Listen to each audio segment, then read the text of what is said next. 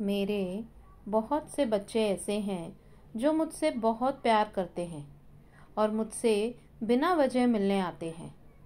उन्हें मुझसे कुछ मांगना नहीं होता।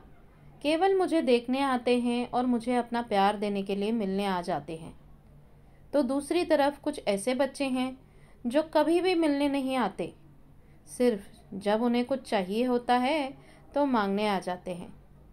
तो ऐसे बच्चों को मैं कहना चाहूँगा मेरे लिए तो मेरे सारे बच्चे एक समान हैं। लेकिन जब तुम मुझसे मांगने के लिए मेरे मंदिर आते हो तो मैं तो तुम्हें देने के लिए ही बैठा हूँ। परंतु समर्पण भाव रखोगे और अपने बाबा से प्यार से मिलने भी आओगे तो तुम्हें मांगने की भी ज़रूरत नहीं पड़ेगी, क्योंकि सही समय पर सही जगह, सही चीज़, सही लोग तुम तक मैं पहुँचा दिया करूँगा।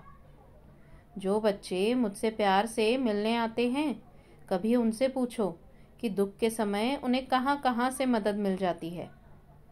पूरे दिन में केवल एक बार ही तुम मुझे प्यार से याद करके शुक्राना करोगे और नमस्कार करोगे तो वो मेरे दिल तक पहुँच जाता है और मुझे इससे ज़्यादा कुछ नहीं चाहिए होता। जब रोज़ तुम शुक्राना करोगे और मुझे एक बार प्यार से याद करोगे तो तुम देखना किस तरह तुम्हारे जीवन में संकट की घड़ी में भी मदद तुम्हारे पास अपने आप पहुंचाएगी? मैं पहुँचा दिया करूँगा। खुश रहो और खूब मुस्कुराओ। मेरा बहुत आशीर्वाद है तुम्हारे साथ।